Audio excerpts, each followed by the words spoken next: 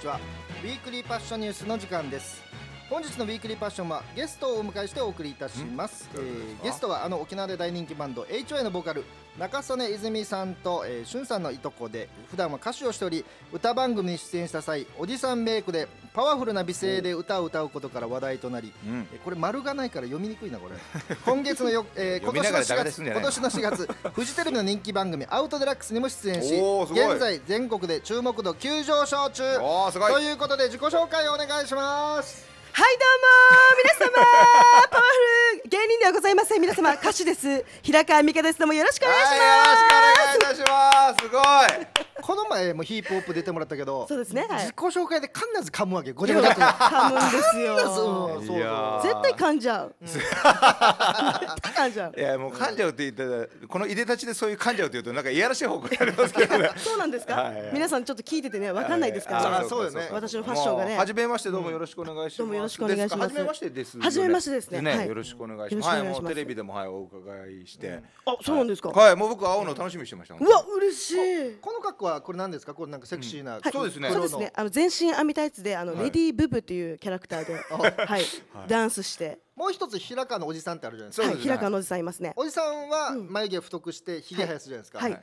レディブブもひげ生やしてるんですね。そうですね。あの基本あの姪っ子とおじさんの関係性でやってるので、えじゃあ生物学的な女性になる。はい女性私は女性です。ああはいなるほど。うんちょっと毛が濃いっていう家系で生まれてるのでそ。うですね、はいそうですねんそこそこの毛の濃さですね このひげを見ると、いやーでも心なしかねまああのあのねあのおっさんのイメージで、はいあの来たので今日この格好で来られた時に正直僕抱けると思いましたあ そうなんですか？ああ抱けるなと思いわましたよありがたいですね。おじさんの青ひげのスタイルの顔でも。ええもうそれ以上にそれ以上にこの本腕なね胸を見てああ抱けると思いました。はい。もうこの豊満なボディがわまわがままボディが。わがままで。そうなんですよ、ね。このわがままをなんとかしたいな。お ええまあねもうあとにね来週で終わりなんでまあこんなことも言っていいのかな、そう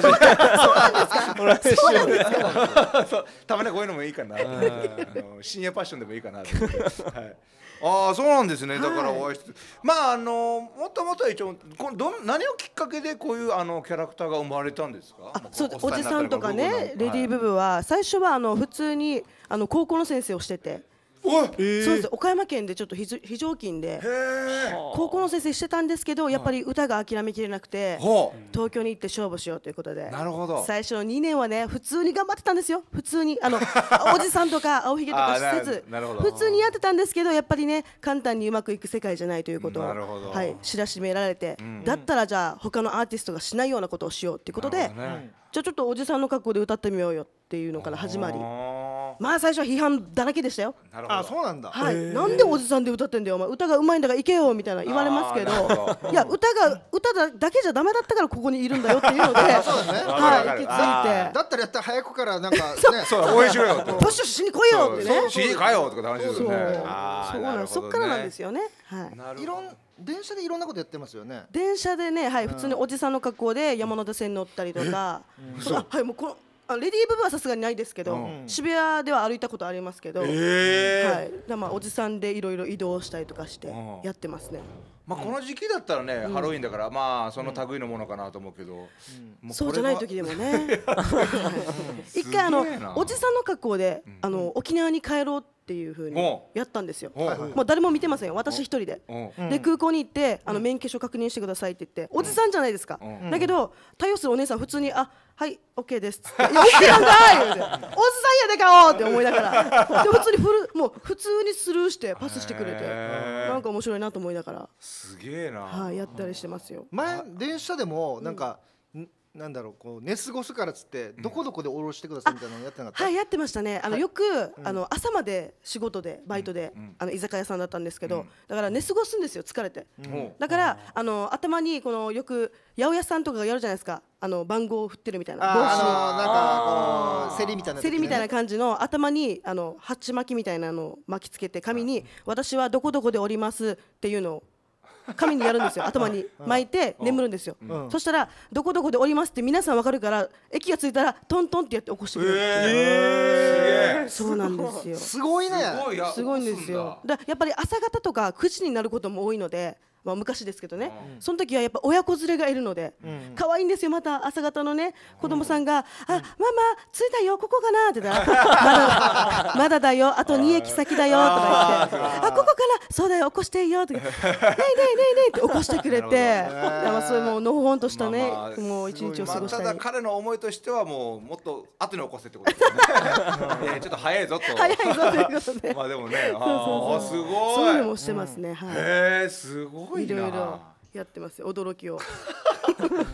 すげえ面白い。俺も今度東京行った時やってみようかな。何をやるんですか？いやなんか起こしてっつって。うんあそうだついたら胸を叩いてくださいって。ああなるほどね。すごいちょっと勇気いるかも。あこれ普通に YouTube チャンネルとか載せたら面白そうだね。面白いと思いまです。矢印書いてさここって。ここです。ここを叩いてポイントここです。そう。ね。うんああいい。あいいかもしれない。矢田さんしかできないやつですからねこれね。そうね。ありがたああって言えばいいんでしょ？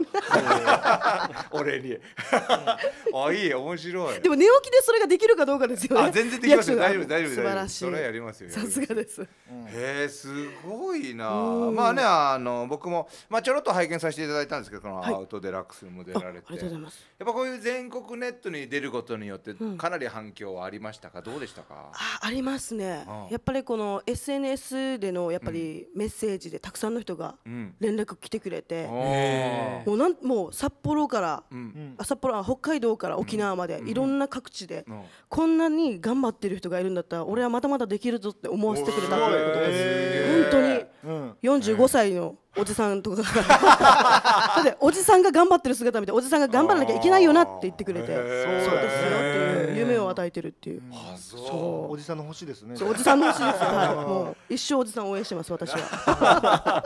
おじさんの格好しながら。そうそうそう。なんかおじさん応援歌みたいなのないの？おじさんおじさん温度っていうのはまあ作ったりはしてますね。あそうなんだ。はい。どんどんな感じえーおじさんはどんな時えっと。内容的にどんな歌詞の内容なんですか？おじさん釣りしに行ったけど、釣れないで終わったよねみたいな。ちょっと今パッと出ないんですけどまあ1年前に作ったやつだからちょっと忘れてますけど歌詞ってそんな簡単に忘れるもん。そうです。そうなの？あ違う文章があの 6, 六ぐらいあるんですよ、六六文章、六フレーズっていうんですか、六コーラス。あはいはい。うんうん。長いからちょっと覚えきれなくてうん。パッと出なかったです。えでも内容的内容的にはこういうまあなんかあるでしょう。なんかそのシーンとかって。多分シーンそういうシーン。を思い浮かべてか歌詞に書いてるんでしょ、まあそうですね。うん。はい。うんうんでも基本なんかつまあ釣れ釣りに行ったけど釣れなかったとか。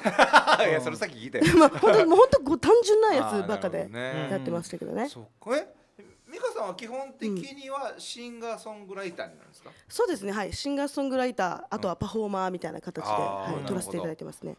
はあそう。んなか前はだもともとはどういったジャンルの曲を歌われてたんですか？そのデビューっていうかその歌手になった時の。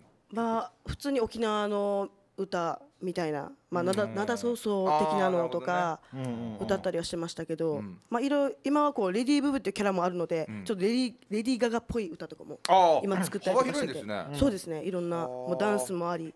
なダンスもやるんですかダンスもちょっとするんですよ、あ習ったことはないんですけどね。フィーリングダンスっていうのをね、フィーリンはいグダンスなんとなくこんな感じじゃねえダンスってことね。そうそうそうそうあそう。そあなるほどねすごい。今回またなんでこの来たんですか、まあ、この前とかヒップホップに出られてたっていうことなんですけど、はい。たまたまなんかなんかあるんですか？このライブがあるとか、あそうです。ライブがあって来てたんですけれども、うん。まあそれが台風でちょっと中止になってしまって、うんっていうことでこの有り余るパワーをどうにか爆発したいってことでキャンさんに行って。そうそうそう。じゃあもう中止の中止の告知においで 中止のこっち本当は日曜日だったそうです日曜日で。はい。かそうなんですよ。なるほど残念だったね、あーあいにくくしかも天気が良かったもんね。そうですよね。台風まあ風は強かったですけどね。まあまあでもなんとなく。まあしょうがないねこればっかりはね。そう。うん。ああそうか。そうそうそう。それでねヒップさんとも絡んであで結局字の話をして帰るっていうね。あれ怒られましたよ親に。なんでそのあ話すんだよ字ってあのこの字？あそうなんですね。悩みっていうテーマだったんですよね。なるほどなるほど、はいそれでやったから怒られちゃいましたけど。あまあ女性の人結構字多いですもんね。あそうなんですか？切れ字とかなんかボナギローヌとかほら。多いってよ。え女性ー、あちょっと心強いですね。便秘だったりもするから。あーそっか。私ちょっと我慢するのが好きなので そこがちょっと原因だったのかなあーあんまり良くないかも。ね力入れたらダメなんだってやっぱ。そうだよ。なんですか？ゆるゆるっと出すってこうふわっと。そうそう 何の話をしてるんだよ時間ふわっと。何の話をしてふる。んだっと出すぐらいがちょうどいいみたいですけどね。え趣味とかないの？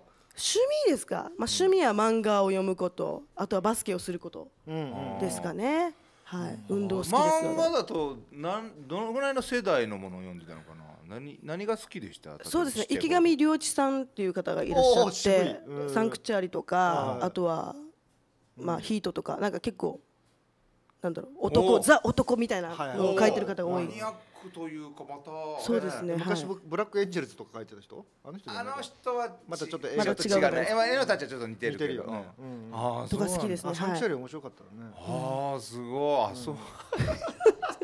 かっこいい。劇画が好きなの？はい？劇画っぽいのが好きなの？劇いやでも漫画は何でも好きなんですけどたまに挟んで休憩で少女漫画を読むっていう。えおー満喫にだから12時間16時間普通にいます。え休みの日ははい。ええー。そうですね結構ネクラネクラなんですよ。あそうなの？こう見えて。お家に人呼ぶ？あんまり呼べませんね。呼ばない。はい。だまあ行ったりはしますけど、外で明るいからかもしれないね。そうですね。まあひたすらひっそりとあのそプライベートはうん。生きてますよ。でも歌好きだなって感じはする。あそう。控室でずっと歌歌ってたもんねずーっと歌歌ってえそうそうですか？ずーっと歌ってた。でもよく言われるんですよ。あのなんか普通に作業しててなんか歌ったりしてたら今日機嫌いいねみたいな言うじゃないですか。うん。いや機嫌悪い時でも私歌うんで。機嫌いいと歌うんだみんなと思いながら。普通にもう歌が口ずさんでるって形はありますけどね。本当じゃあ根っから好きなんだね歌ね。はいそうですね。転まあこのまあだからその先生を目指してたんで、そのまあう歌い手になりたいなみたいのっていうのはどのぐらいから芽生えた感情なんですか？歌い手にもうそれはもう泉と一緒に小学校中学校高校とずっと音楽してたんですよ、ファーストっていう二人組で。そうそうそう、はいはいでその時からデビューしようねっていう話があったので、まあ、小学校5年生6年生ぐらいからその、はい、意識はありましたねだだけどなん。だろうやっぱりもう泉がもう天才的に歌のセンスがありすぎて、もう私ちっちゃい時からお前は音痴だって言われてたんですよずっと。だって泉がこうたどるこのビブラート感が私は普通の人出せないじゃないですか。かそれをどうしても歌いきれなくて自分は音痴なんだっていうので大きい声で毎日練習してたらいつの間にかちょっと上手くなったぐらいになったんですよ。だ泉のおかげで今に至るという感じで。イーズはイーズででもミーカの方が私よりうまいって言ってたよいやいやそれはあのもうけんもう謙虚なだけですよ。もうもう100%もう泉の方がすごいです。うんはい。あそう、えーじゃあまたさなんか違う形で、うんあの頃の思いよってみたいな形で二人でいややれたら最高ですよね。ここまでさ頑張ってるから、もうそろそろやろうよって言ったら「いつやろうよ」って言ったらなんか「やっちゃう？出しちゃう?」みたいな感じになるんじゃないの？いやもうちょっともうちょっと私はもうもっとねもうちょっと。上げていかないとね。もうちょっと。はい。ちょっとまだまだおんぶに抱っこじゃダメなので。あーそっか、はい。あーそっか。俺あれ思い出した。俺あのこのミーカーと会ったのが、H1 の特番の時で、うん。うん。で本当に久しぶりになんか会った感じがあって、うんうんうんうん久しぶりに会って。もともと何が初めてのきっかけあったの？いやだからゲストあの H1 の特番で、うん。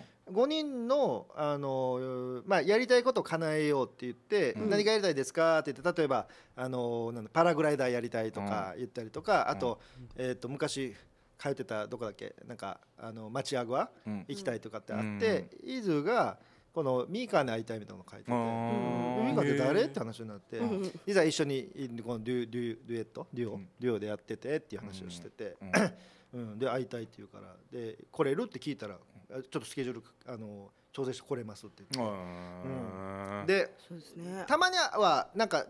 親戚だからたまには会ったりしてたのか？し会ってないのか、いや結構あのうん。やっぱライブも多いから泉たちが。うん。で結構すれ違ったりとかもあったしそういう部分で結構会えない期間があって。でもまあ毎日ってほど連絡は取り合うんですけど LINE とかで。うーん。でも久々に会って。そうそうそう。だからなんか久しぶりなんかねこう、うん。2人で一緒にやってたけど、うん。結局 HY もお手伝いするようになって、うん。そしたら HY が忙しくなって、うん。この2人のねがそうそうそうそう。なかなかこうすれ違うようになって本当お家でやってたんだっけ？ミカのお父さんがこの音楽のミキサーとかあってたっけ？泉ですね。泉のお父さんうん。がもうすごいもう音楽に凝ってて。うん。でそういうもうお家に機材があってうん。もう夜中の2時までもうレコーディングしたりとかしてやってたんですよ。で毎日バスに乗ってイーズのお家まで行ってうん、なんかこうレコーディングとか練習してて、はい、練習してってやってたんですよ。うん。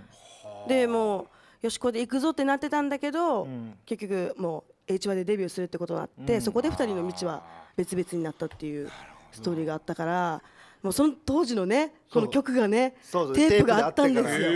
えよかったよあれ。ねえ。ハイポジハイポジはいはいはい。はいはいはい。いやメタルでもハイポジでもいい。じゃんテープテープの処理はいいじゃん音質が変わるからあドルビードルビードルビーあーやばいくれな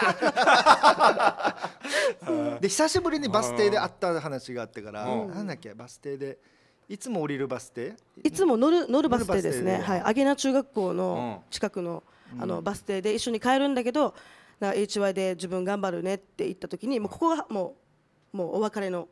もう二人ファースト解散だねっていううん。この時期で、じゃあいいよお前 HY で頑張ってこいって背中を押して泉をバスに乗っけて、ミカはそのバスに乗らずうん。見送って先に泉へ帰ったっていうストーリーがあって。あそうそう。なんかあーね超いい話。だから二人久しぶりになったから変なしてもうこのちょっと遠目でそうお互いこう離れてるっていう。離れて座ってて。で何も喋らないで。でバスはで帰る方向同じだから同じバスに乗るんだけど、うんイーズが乗ってからミーカは「お前頑張れ HY 頑張れよ!」って背中を押してそうそう自分乗らないでバスだけバーって行ったみたいなそうそうそうそう。話があってその時はなバスチンがなかったとかってえー違いますよ。違いますよ。今の感動話返せ。いやいや、理由なんでの、一緒にこればいいのに。違 違いますよ。お金ないから、もうお前それ行け。悲しい話になるじゃないですか。歩いて帰るからよみたいな。迎えに来さして。わあ、いいなあ。すごい。で、学校の先生というところをはい志したけども、そうですね。やっぱお酒入れなかった。そうですね。もう諦めてです。え？教員免許持ってんの？はい持ってます。あマジで？あそうですね持ってますね。そうなんだ、はい毎日教頭先生に怒られてました。なんで？いやもうあの先生らしくない格好でいつもあの投稿してたので。あーうん。らしくないっていうかあのバスケの洋服ですようん。普通にスーツで来なかったってだけで。ああ、あじゃあ、じゃあ、みたいな。え、何教えてたの。ちなみに？の福祉なんですよ。だから介護だったりとか運動っていうか動くのでうんまあ動きやすい格好でっていうふうに言ってたんですけど。うんあー、まあ、あ面白学校いですね。来てから着替えなさいみたいな感じ。みたいな感じですかね。はい。あーなるほどね。あそうかそうかそういうことか。すごい。でも学校の先生やってまたそこから思い切って一歩踏み出すってすごいね。まあ勇気入れましたね。いやすごいと思う。はい親の反対ったらなかった。すごく反対された。そうだよね。はい。だってパッションさんも先生になりなさいだもんね。あそうそうそう。うちそうなんですか？もまあうち先生になるというかまあうち農家で、うん。うんでやっぱり田舎の名護なので、はいだからやっぱもう公務員とか先生になれたらいいよねっていう思いがあったので、それでまあ自分が体育教師になるから上京するねっていう時やっぱ喜んでくれて、ああうちの家系にもついに学校の先生が生まれるって言って親父すごい喜んでて、それでねあの仕送りとかも一生懸命頑張ってたんだけど大学4年生の時に戻ってきて「はいあの親父芸人になるね」っつって「ふざけんじゃねえ!」っつっていややっぱなりますよねなったよ超怒られたよ。すごいはあっつって。いやでも黒高は他はもうまああんたの道だから自分がやりたいことやればいいさって親父が、はっつってふざけんじゃねえっつって、でテレビ出てもは全然面白くないっつって嘘もうやっとだから認めてもらえたのがその、カンニングの竹山さんが自分が出てる時になんか笑ってるモニターに越しに映ってて、それを見てあ親父はたカンニングの竹山さんが好きだからこの人が笑ってんだったら、うちの息子はまあそこそこ面白いんだよなっていうことでやちょっと認めてくれたみたいな。今でも認めまあ今でも認めてるんだ。いやでもそうでもないみたいもうあんまりもうなんかうち実家ロケしたいとかって言ったらああもう頼む。もう関わらないでくれもう結構美味しいお話とかもうこ断念することとかをそうなんね。マジかーと思って。黙ってやればよかったかなと思ってましたけど、なんかそあのーもう番組は終わっちゃったけどあのーさんまさんの番組で「からくり TV」が沖縄に来るってことで「ん。あパッションの家ちょっと候補上がってんだけど」つって。すごいですよ実家行ねける？っつって。マジかと思って、まあさんまさんだったら多分うん。喜ぶんじゃねえと思って行ったら、うん。関わらないでくれっつって。ダメだったんまあダメだか。もうもう分かったかたくなですね。かたくなだった。もう大変だわけ。ただねごめんね俺この席にすごい西日が当たるわけ。すごいパワー取られてきた確かに。光り方が半こんな端ないえこんな当たるここ？ほ補給して補給して。いつもここじゃないんですか？いつもここなんだよ。あ私がじゃあ取っちゃったのあかな雑だなおいもう体力なくなってきたな。そうかでもまあでもねこうやって今はねこうやってまああのースタイルはどうであれやっぱそうやってねあのーこうやって日の目を見るというかみんなに注目されるっていうことになってはやっぱ家族も喜んでんじゃないのもう喜ん。でますね本当に嬉しいですよねまあだからうちの話はともかく嬉しいと。うん。そうなんですよね。ねはい。すごいな。あ今後でまあご自身としてはあのどうやっていきたいなとかどういうふうにしたいとかなんかあります？そうですね。まずは、まあうん。まだまだ周知されてない部分がやっぱたくさんあるので、うん。まあ、全国的にちゃんともう平川美香レディーブブ平川のおじさんってうん。分かってもらえるだけうん。の認知度を高めていきたいなっていうのはありますね。なる。ほどね、うん。そうか。これが例えばあの本当に変な話ネタ番組とかでもいい、うん、はい、あ私ですか、うん。あ全然大丈夫です。あ。逆にそういう。そっちの方がなんか可能性あったりしそうありますか？可能性があるかな、ううん。もしかすると、うん。そっか。うん。あとね俺あテレビ的にだけどレンズが入ってるのがちょっと気になるあなあ、そうか光る。結構光ってたなこの前テレビで。そうなんだな。わかんないけどでもどう入ってないんでしょ？どう入ってないです。これああじゃあこれを取ればいいのかな？取った方がよくない？わかんないけどどっちがいいのかな？あ取りましょうか。あった方がいい場合もあるけど。あそうなんですか？あいやいやなんとなく。でもななかったらなない方がよくない？ねえ。表情がよく見えるから。そうですよ。光ってますもんね今もね。そうそうそうそう。表情はよく見えないよ。だってメイクしてたから。メイク私のねしてんだから。私の本当の表情が見えないってことですね。そうそうそうそうう。ん。じゃあちょっと参考にしますこれ。ねうんだからなんか安いの。の一回レンズ取ってからやってみかけてみてああこれいけると思ったら。うんもしかしたらもしかしたらそれからあれかもしれない。うん何か光る何かが出るかもしれないよ。光を取ったら別の光が差してくるがっていう。あんすかあそんなうまくないよ。そんなうまくないよ。ちょっと私も言いながらちょっと噛んでたし、うまく言えてなかったし。だからまあそういう意味でだからこだわりもない。まあある意味ではこだ強い芯は強いけどこだわりないというかもう柔軟にいろんなものができるっていうそう受け入れられるって意味では。本当にだからそのなんだろう。うんなんだろう。子供がから大人までうん。歌えて覚えやすいような歌とか、あとは逆にこんな歌唱力があるからこそなんでこの歌詞をこう歌うのみたいなとか、まあ、そういう形で振り幅が広いと注目される可能性は全然ありますよね。うん。うん、他の人が歌えればなんかあれなんかすごいこの人ふざけた歌歌ってるけどよく聞いたら歌うまいねみたいな形に 違う形で食いつかれるとさ、そっかそっか。うん。その人がだから歌うまい人が一生懸命そうやってふふまあふざけるというかそういうふうな思いを伝えれば伝えるほどまたそれは違う形で魅力として返ってくるような気がするし。さそうですね。歌ネタ。うん。ちょっと挑戦してうん。やっていきたいと思います。いいと思う。こんだけね喋れるし、うん。こんだけ度胸もあるし、うん。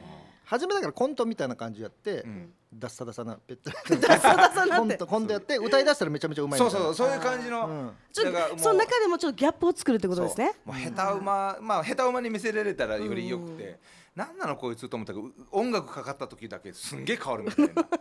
あのだからポール・ポッツみたいなさあのなんだったっけあの初めあのあの X ファクター X ファクターのうん。なんかあの、うんもぞもぞもぞもぞしてるけど、あの音楽かかって歌い出したらみんながうわーってなるみたいな。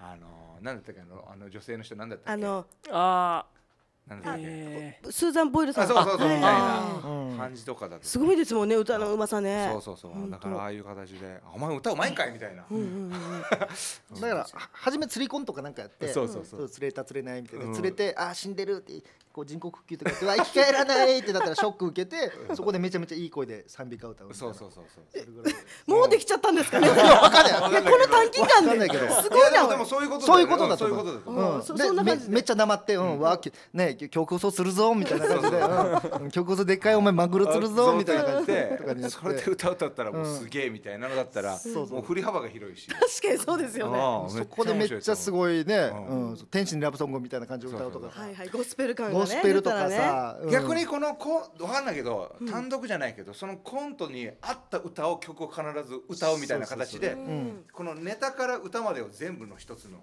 曲にして。じゃあ曲がそれを10もうたくさん。曲ぐらい作ればできる。めっちゃ新しいエンターテインメントじゃない、はあ。だからね釣りして死んだっていうのも、死んだからそういう賛美歌やるとか。そうそうそうそうそう曲に合わせてやると、すごい。絶対面白い。この短時間でこそうそうう。広がるってうん。私からしたらすごいもう宝ですねこれね。アイディア。ね犬飼ってて犬散歩してたら、うん。犬が逃げたって言って、犬が逃げたってやってなんか別れの歌そうそうを歌うとかね。めっちゃいいじゃないですかそれ。そうそうそう。うん。ねえ。これ絶対面白いと思う。面白い面白い。ちょっとじゃあうん。作って。うんぜひ。うん出たいと思います。でもこういう悪いパターンはもう前のコントだけすんごい集中しすぎて歌がグダグダなるあるからね。あるあるあるあれ歌よくねえなそんなに。みたいなそうそうそうそう、うん、そこをちゃんと そこもやりながらここだからね。そうですね。メインはここでメインはねちゃんとねここだから。ギャップを生かさないといけないですからね。あ面白いと思うよ。逆算してねやればいいわけそうそうそう逆算してやって、そうあくまでだからそこ ある意味だからここは我慢できるさ、ぐったぐだだろうがなんだろう。がでもここに来た時にみんながわーってなる。みたいなバシッと。うん。そうそうそう。そううわ楽しみあいいですね絶対いいと思うよ。ありがとうございます。うん。うん。あいいあああじゃあ俺プロプロデュースする。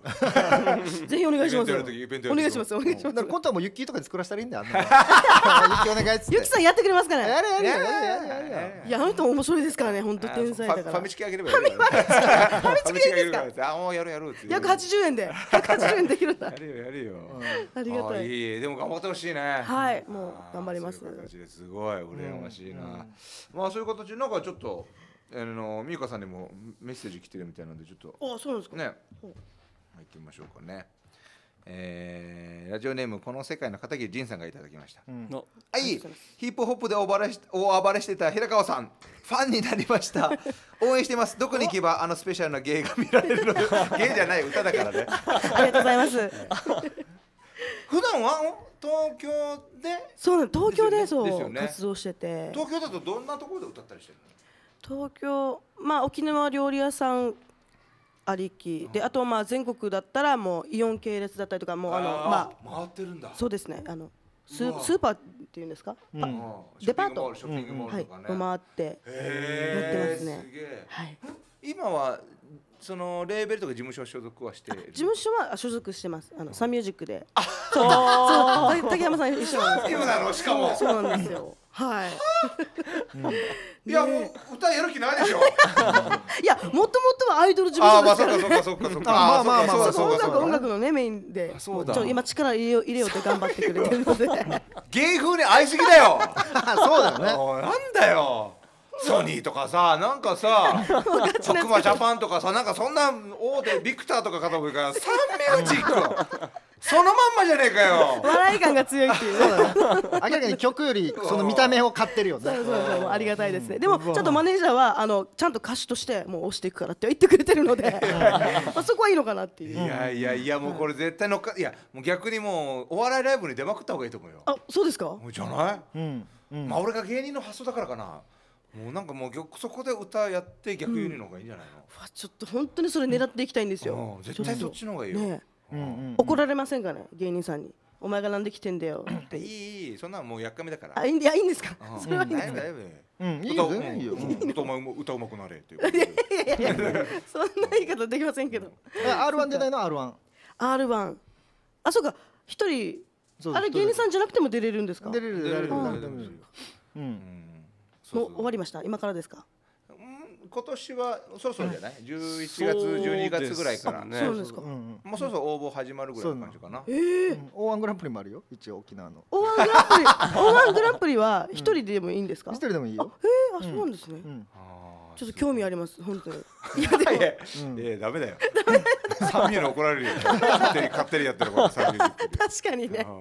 へえそうなんだ。ですよ。ごいなえー事務所的にはそこら辺のフットワークはでもザ・ミュージックはやっぱしっかりしてるからちょっとうるさいんじゃない？大丈夫なの？そこら辺って。いやまあちゃんとまあ約束守れば別にうるさくはないです。一応担当してるマネージャーさんとか言わするんでしょ、はい、はい、いてて、いてくれて。そうだよね、はい大丈夫なの？こんなラジオとか出てて。あもう全然もうキャンさんがもう、うん。いいって言うんだらいいよ出な出なさいって言ってくれて、ありがとうございます あそうなの？そうそう。はい俺全く関係ないのに各方面に電話してさ どうなってます？あの平川美香出してくれませんかっつって。沖縄担当マネージャーみたいになってるあそうなの？うん。ありがとうございます。結構いくつか RBC とかのあのお願いしてでも RBC はちょっとワイドだからあのなんかこうスポンサー絡みが多いから、んうん。ちょっともう少し早めにまたちょうだいって話だったんだけど、はヒップホップとかもね全然普通に、ありがたいですよね。うんすごいね。いやいい。あもうこれは来たな。これ来たな。来たんですか？どうしよう。じゃあしばらくちょっとじゃあ沖縄に住んでてもらって、はい。で一緒に O1 出ようか。二人でセットですか？う ん二人でだった でも今ツイキャスでたけしさんが「平川のおじさん沖縄のお笑い賞レース出るの?」って書いてますよ。うん ネタはあるんですか？ねいや別にネタっていうネタは別にないですねまだね、あはあそっか。い、歌ってダンスしてっていう。このこの青ひげはどうやって作ってるのこれ？これはあの動乱ですね。舞台舞台衣装の。それ用の動乱があるんだ。はい、動乱でパパパパパっつって。うーん。7分ぐらいで。えー。そうそうそう。来てね自分もあのー FM 那覇に入った時に「あのあもう広川さんはいるの?」って言ったら「もうトイレ入ってる」っつってであのまあねあのこの格好で出てくれると思わなかったからトイレ入ってるんだと思ったけどしばらく経っても出ないからあうんこしてんだ。と思ってにしてもちょっとあ今日は苦戦してる日なのかな みたいな。しかも字の話を聞いてたばっかり。で あそうだよね。そう。だからあー今日は苦戦してるのか、うん。まあでもそこはもうあ気づかないふりしようと思って。うん。そしたらああそうかメイクか。メイクかと思って。それでちょっとハッと思っあそうなんですよ。メイクたなるほどね。あどの本当はねお家からこれで来ようと思ったんですけどこれちょっと捕まるなと思いながら、うん。どうなんだろう。やっぱダメなんかな。ダメじゃないですかね谷谷間めっちゃ出てますよ。そうだよね、いい。無駄に無駄にあるね そうなんすですよ。ね。ボンボンボン。あボンボボンだね。ボンボボン。え前前からこんな体格？はい昔からこうなんですよ。あそうなんだ。はい。へー。こっちり65キロであそう。はい。あいいぐらいいいぐらい。はい。いいぐらい何をもって？え？何をもって？ギリ健康を維持できる。そんなギリ健康なんですそんなの分かんねえじゃん。そのデータあなたにないでしょ。なんだろうこれ65件説よくわかんないわ。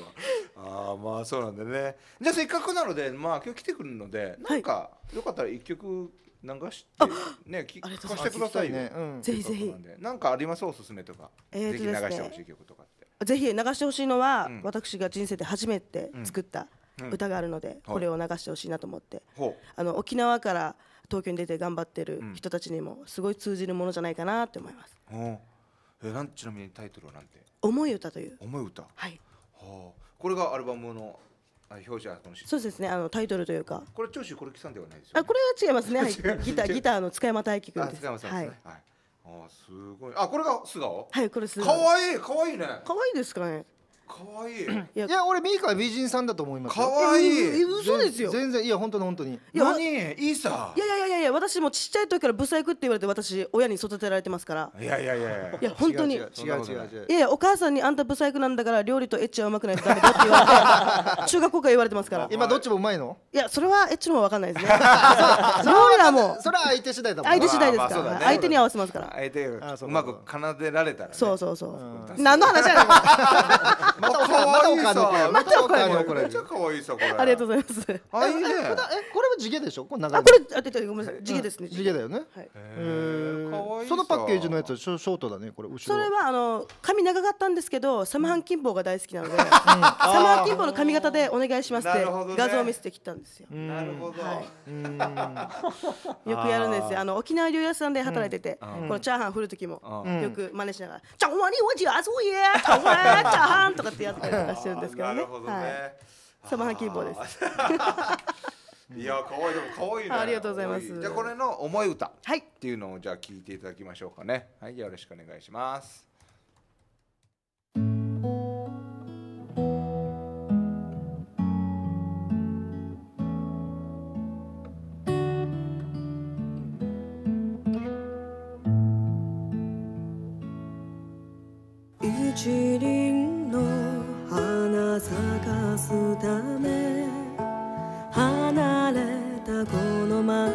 で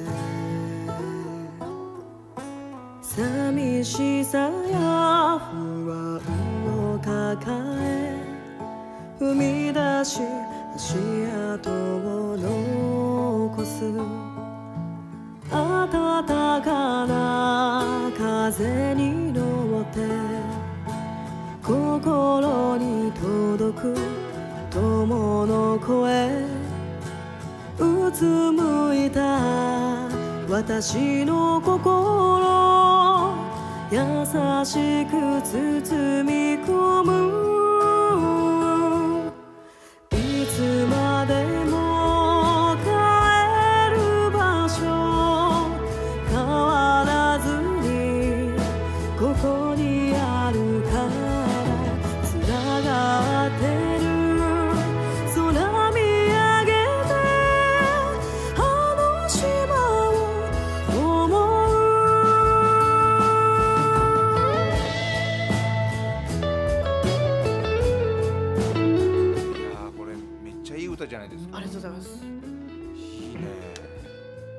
ツイツイキャスで。はい。あの群馬の兄蔵さんがこれ沖縄の CM で流れてるよねって書いてあありがとうございます。あ東京からミッキーさんが、東京池袋のミニライブのステージ見に行きました。わありがとうございます。めっちゃ感動しました。ええすげえ。多分おじさんで歌ってる時じゃないですかね。あーそうか。へなんだ今ちょっとあれよね。なんかこうこうギューってなってる。なんか何かがバンって弾けるか弾けないかぐらいまでちょっと来そうな感じするよね。そうなんですか？うん、応援してる人今増えてきてるでしょ？いやそうなんですうよ。んなんかそれが嬉しくて。うんうん。ね、な沖縄で結構あまり活動してないから、うん。知ってないかなと思ったら結構ちょいちょい知ってる方がいてて、うんなんか沖縄のイベントでも結構歌ったりしてませんでしたっけ？そうです。ね東京とかでやるあ沖縄のイベントだったら。あそうかそうか。はい。それなんか動画とかで誰かが撮ってるのを何回かなんかうん。SNS とかで見たへことあって。ー。ああそう向こう撮ってるのかなと思ったらあ向こうのそうなんですよ、はい、まだね沖縄でなくて。どっちが先に声かけてくれるかね。ね誰でしょうかね。でももうねヒップホップも出たからもうどっかがああ呼びたいって。うん。思ってほしい。誰かちょうだい。でも基本字の話しかしてないから。ね。ヒップホップではね。そうなんだよね。本当に。うん。そうでもねこれを機に来年はもうイベントとか、おうん。沖縄のお祭りとかでもどんどんどんどん呼ばれるようになるんじゃないですか、ねもうまあそうも願ってますよ。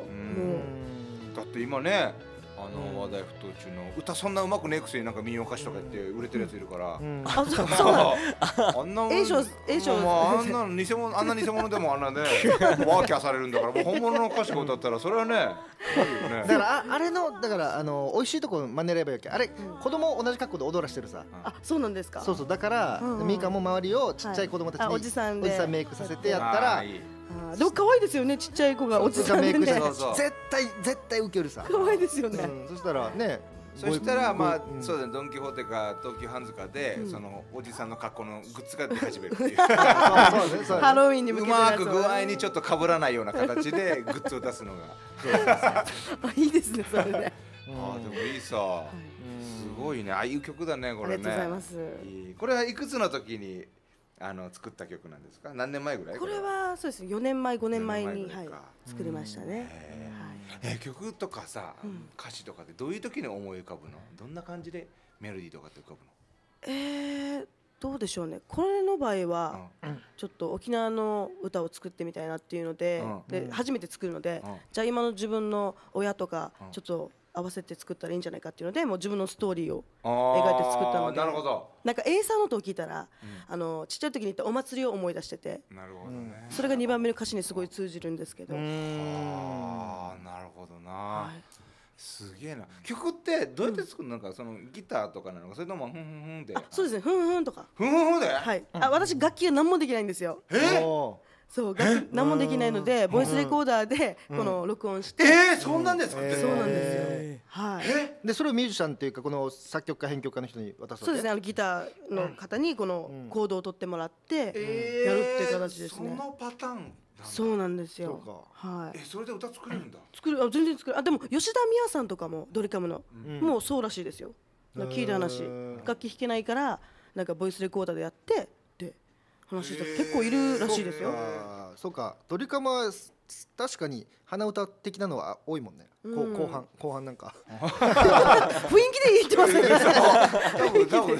今なんか共感しにくかったですよ あ。そうそうかなとタリラリッタリラそんな感じの雰囲気ないまあまあまあまあまあフェイクっていうのはなんかそれわかんないけど鼻歌あ感ーまあへえあそうなんだ、はあそうやってもできるんだね、うんそうなんですよ。すげえうんはあすごいいいね。なんかいいな歌いいな一緒に歌いなんかデビューしてえななんかなんか作ります？今ここで。おマなんもないけど。何？まさかの何みたいになってるけど。すげえ。なんかじゃああの字の人の歌をう歌って。字の人。字の字で困ってる。でも字で字で困ってる女の子いると思うんだけど、大丈夫だよ勇気を持ってっていうあ勇気を持ってみたいな感じで。うんうんうん。オッケーじゃあじゃあしっとり系ですかね。私しっとり系ですか？任せます任せます。はい。トイレの後はウェットで締める。優しく包む。ティッシュが欲しい。あなただけじゃない。痛いのは私も一緒だから、大丈夫。気 素晴らしいなんか 持ちジモッチってなっていやじじもっちがなんか気持ちいいね、大丈夫の気持ちいいみたいに聞こえたすごい良かったですよ。わあ。ジモッチが気持ちいい当て字でしょ気持ちって書いて字持ちってなんかあ来るみたいな感じでしょ。そうとっさにめっねちゃ歌うめえああいい。やっぱいいなミュージシャンいいな。えオールジャンル聞く？俺まあでもあんま曲聴かないんですよ。あ曲自体。そうなのはえいなんか意外ですけど、はい、ああんまり曲聴かないですね。へえそうなんだ。そう。え誰かその初め皆さんね、うん。あのーアーティストとかやっぱカバーから始まると思うんですよ、はいはい。誰かの歌をやってみたいとか。それでみたいなとかなのか、そうですね。そこからまあ曲ってあこの人は作れるのかな、うん。なのかなと思うんですけど、初めは誰にすごくインスパイアされたとかあります、初めはあのープシンさんですね。レゲエシンガープシンね。さん、あい。いんですよ。ね。はい。大好きで。不審いいよね。はい。もう今でもねもうリスペクトしてますけど、うん。これも何年か前も沖縄でライブありましたよね。そうなんかのありましたよね最近もね。来てましたよ1ヶ月2ヶ月前にもね。ああすごい素敵で本当大好きなんですよプシさんの歌が。プシンさんわ若田だだまあミンミさんですね。あ耳か。はい。晴れ耳か。そうかそうかそうかプシさ。んプシンさんもでもん？結婚出産まあされてうん。お子さんもいるとだよね。いう話は聞いてますね。へえいいなあすげえ。まあじゃああのいつかは結婚してお母さんになった時に、昔のお母さんだよってこれを見せる感じですか？あいいですね。いやお父さんがおお母さんがわかんねえよっていう。おじさん平川のさん見せて。あそうだね。男の声も出せる？男の声？うん。例えばえわかんない。ちょっと低めの声とか。あひくでも低い声は出せると思うんですよ低い声ではあるのか。はい。いや自分があの僕よく林家パー子さんのモノマネするんですけど、はっていうこういう感じの女性の声みたいな。あー。それの 逆バージョンみたいな。逆バージョンだけど。そうそうそう。どうもキリンです。顔作る？顔作る。ラジオとか見れませんもんね作っちゃうけどねまあわかるけど でお父さんお母さんって言ったから平川のおじさんとはい。ミーカーがデュエットみたいなのもできるんかなるほどね。そういうことですね。はいはい男の声と女の声二人で。あでもまあ曲でね、あれば全然歌えると思います、男の人のキーも歌うので、ああそっか、はい。へえいいな。なんかもうすごいですね。この時間でいろんなアイディアが生まれてる。そうだよそうだよありがとうございます。すごいですね。いやいやいやこれが本当に当たったらね俺もうすぐ飲み屋で自慢するよ。あれさあれさなあれあれな場所だ。なあれなあれあれ俺らなあれだったわいやな境町でもうどんどんお酒進む。あれさでそうそう。いやいやあえてちょっと周りに聞こえるように音楽がえやっぱねすぐ実行したからよかったなあいつな。俺会ってすぐ見えたもん。この絵見えたもん。今日の絵見えたもん。いる言う人いるそうやって。俺俺なんか分かったもんこいつうわ60過ぎのめんどくさいおじいちゃんになってさこのうわそうかそうか。なるほどね、うん。ああでもね本当に出てきただきありがとうございます。まあせっかくなので最後までお付き合いしていただいていいですか、はい。あます。はい。まあねあのあまりあの聞いてる人もいないんですけどこの番組。そうなんですね。でもね、たまに物好きであのメッセージを送ってくれる方もいらっしゃるんで、はい。はい。そのメッセージも紹介したいなと思っております。はい。はい、じゃあ続いてのコーナーはね、語ろうさ語るさでございます。はい。え今日のテーマはですね、今だから言える話でございます。はい、ということで皆さんね、今だから言えるメッセージを送っていただけたらなと思っております。えーメールアドレスを紹介したいと思います。投稿アットマークゲラツー .jp toko アットマーク gers.jp です、あとですね今日せっかくね、えー、ミーカさんがゲストに来てるので、もしミーカさんに聞きたいこととか、うん。えーあればぜひこちらのね、えー投稿アットマークゲラツー .jp まで送ってきてください、Come on はいよろしくお願いします。じゃあそのまま行こうか。あ、じゃ行きましょうか。はいじゃあこのコーナーに参りましょはい、ちょっと待ってください。う、はいじゃあいいや行きましょう。はいじゃあお願いしますカタローサカタローサはいということで語ろうさ語るさでございます。今だから言える話ですけどもね。ちなみにまあ皆さんもこの今だから言える話ってあると思うんですけども。なんかあります？ミカさんとか。キャンさん結構ありそうだねキャンさんはね今だから。今だから言える話。今だから言える話。いや俺今でも言えない話いっぱい。あるまあそうですね。それのそうか。がパッて出ますよね。あそっか、今だから言える話なんだろうな。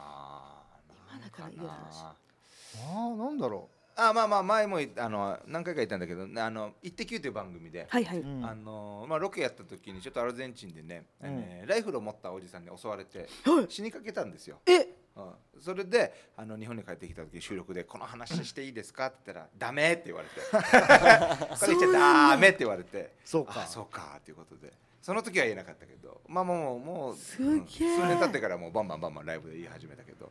そうそういうお話とかねあとなんだろう。まあわかんないですけど、まあなんか旅館の、うん。えー営業があるからっつって行ったらですね、なんか宗教的なもんなんですかね部族的なもんなんですかね、わかんないんですけどなんか体に落書きをされてる方々がいっぱいいらっしゃって、はいはいはいはい。なんかあそういうなんか類の集まりなのかなみたいな、僕はわかんないですけどね、僕のないものがいっぱいついてたの人とかもいましたね。なるほどね。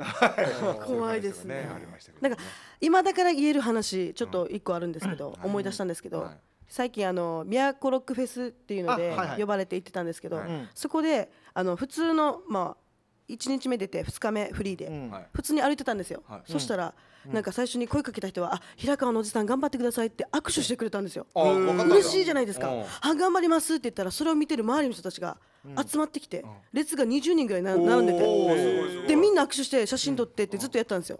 で後半らへんになったら「あの中学校からのファンなんです」って絶対泉だよなっつって。絶対泉だよなって思いながら。でもマジかそう。です、まあ、こ後半ですよ、でそしてあのライズアップのあのトレーナーあの何々さん友達なんです知るかい ライズアップ通ってないわと思ってマジかそでもああそうなんですか。ありがとうございます。いやーすごい素敵ですね。痩せて。ってもういいがちゃうわい!体重変わらず65キロや!言うてそのパターンあるな。それをもうあのもう普通に何も言わずあありがとうございます。で終わらしたっていうのが今だから言える話ですからね。だ後半の何人かはいつ見てもって写真を撮ってると思いますよ。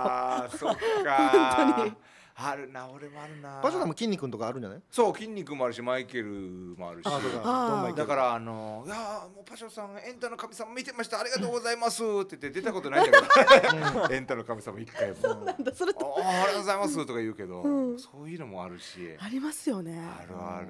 びっくりしたよ。だからそういう時辛いよね。辛いですよね。なんかねダメージがねあの喜んだ分だけの落ち方が半端ないですよね。あるあれお偉い政治家になった時「まあ知ってますよ知ってますよ」って「昨日テレビ出てましたよね」っつって「あれ出てないけどな」と思って「えなんかローカルですか?」って「いやなんかローカルの番組だと思いますよ」っつって「出てました出てました。もう楽しいですね」って言ったけど絶対出てないわけ、うん。そそれだけど、あのまあ、とりあえず「ありがとうございます」ってその場をやって、その人が選挙出た時は投票しなかったよね。あの人嘘つきだから。あそうだそこでもうそうだよね。私誰かと間違えてるとかではなくてってことですか？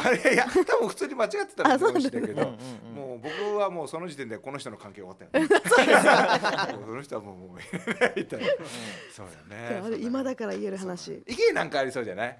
なんかね僕はあのバイクを、あの友達が借りて、うん。であのちょっと僕自分のバイクが壊れちゃって、うん。でちょっとだけ借りてたんですけど、うん。ちょっとあのまあ、うん。なんていうんですかねあの全然わざとじゃないですけど、あのまああのスリップっていうか。うん。あこけちゃったちょっとこけちゃった。こけちゃってちょっとまあまあまあ、うん。あのなんかし下の方が 結構削れてたんですけど、一応返してみた時に何か言われるかなと思ったら、あなんか全然あありがとう返してくれてみたいな感じなんで、あこれはじゃあまあ今はいいかと思って 一応。ああなるほどね。何も言わないで返したことあって。でももうもう言ってるんですけどね。あのその時はでも何も言えなくて、まあそうだよな、はい、ご後日おおってびっくりしてましたね。ああ、はい。けど。